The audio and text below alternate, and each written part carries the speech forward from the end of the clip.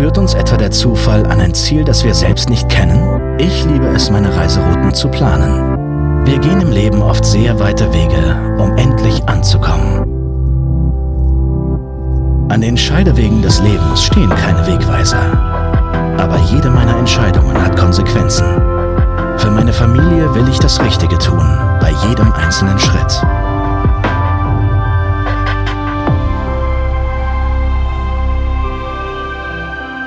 you